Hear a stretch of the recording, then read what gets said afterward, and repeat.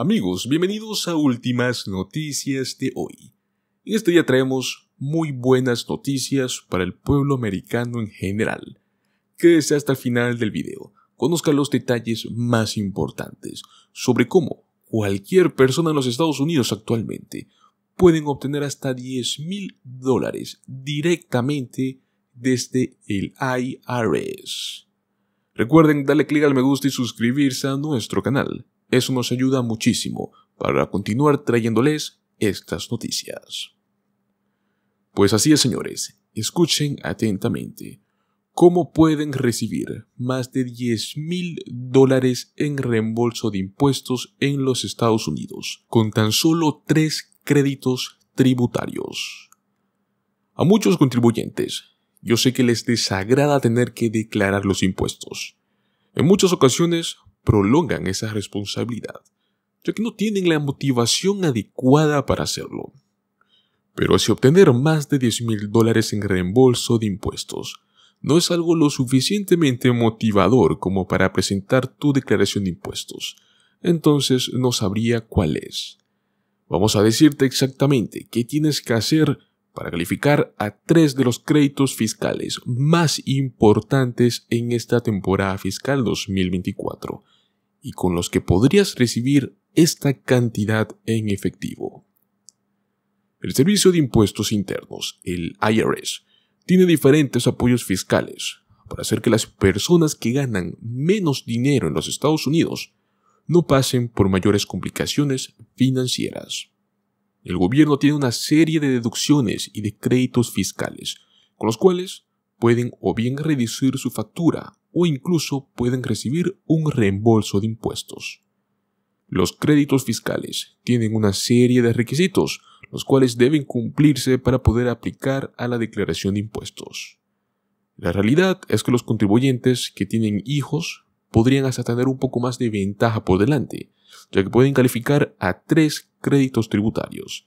El crédito tributario por hijos, el crédito tributario por ingreso del trabajo y el crédito por el cuidado de hijos y dependientes, con los cuales juntos podrían sumar una cantidad de hasta 11.130 dólares en reembolsos, es decir, dinero en efectivo, no para pagar facturas, dinero en efectivo para tu bolsillo. Para que sepas cómo alcanzar esta cifra, te vamos a decir los criterios de elegibilidad coincidentes en cada uno de estos créditos fiscales. Recuerda, no es por el hecho de que tengas hijos o no, porque si no tienes hijos igual puedes calificar a los otros dos. Solo por el hecho de tener hijos calificas a los tres. Empezaremos por el crédito tributario por hijos, el cual pueden ser de hasta 1.600 dólares reembolsables. El valor del crédito tributario por hijos actualmente es de 2.000 dólares por cada hijo menor elegible. Si no tienes una obligación fiscal este crédito es reembolsable solo por hasta 1.600 dólares. O sea, no vas a recibir los 2.000, vas a recibir 1.600. Este beneficio se puede reclamar por cada hijo menor elegible que tenga un número de seguro social que sea válido en los Estados Unidos. Para poder reclamar este crédito, debes tener hijos que sean menores de 17 años al final del año tributario 2023 y que haya vivido más de la mitad del año contigo. También algo muy importante que debes tomar en cuenta es que debes tener un ingreso bruto ajustado mínimo de 2.500 dólares. Si no tienes esa cantidad mínima de ingresos, no podrás calificar para el reembolso. El límite de ingresos es de 400.000 dólares para los matrimonios, o sea, las personas en conjunto que declaran. Y si eres soltero, pues son 200 mil dólares. No puedes ganar más que eso. El segundo crédito es el crédito tributario por ingreso del trabajo, el cual puede tener un valor de hasta 7.430 dólares. Para el año tributario 2023, el crédito tributario por ingreso del trabajo tiene diferentes montos, y esto va dependiendo de los criterios de elegibilidad. Si no tienes un hijo menor dependiente, puedes recibir 600 dólares.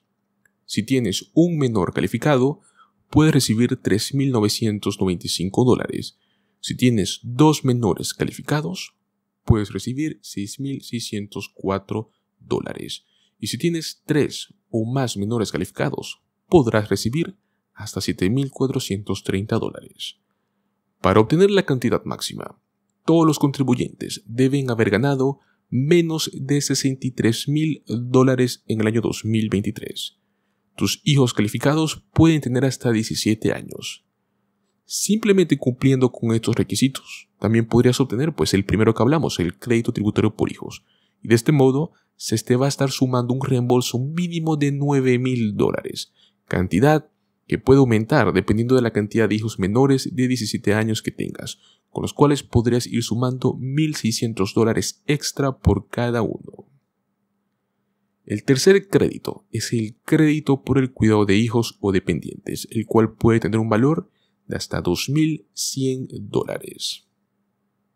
Quienes pagaron por el cuidado de una o más personas calificadas para ir a trabajar o estudiar a tiempo completo, o para salir a buscar un empleo y cuyos ingresos estén dentro de los límites que son fijados por el IRS, pues pueden calificar para el crédito por el cuidado de hijos o dependientes.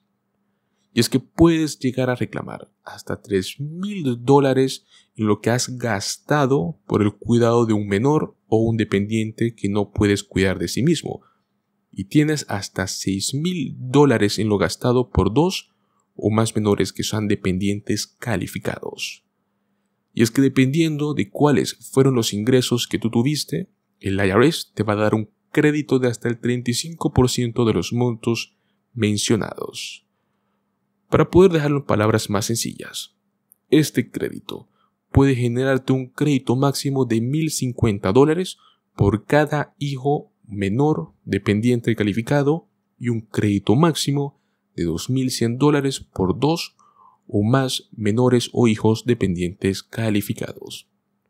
Entonces, si consiguieras la cantidad máxima de este crédito por el cuidado de hijos o dependientes, y aparte de esto, obtuvieras los 9.030 dólares anteriores, que es sumando el crédito tributario por hijos y el crédito por ingreso del trabajo, entonces podrías estar recibiendo un reembolso en efectivo, escucha bien, en efectivo, no una reducción de factura.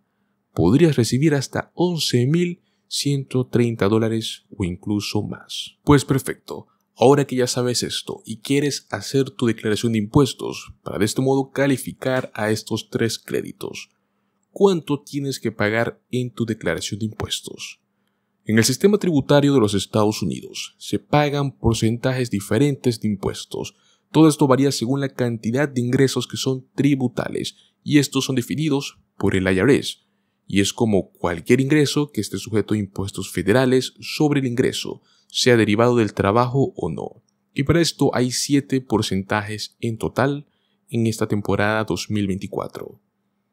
Hay el 10%, el 12%, el 22%, el 24%, el 32%, 35% y 37%.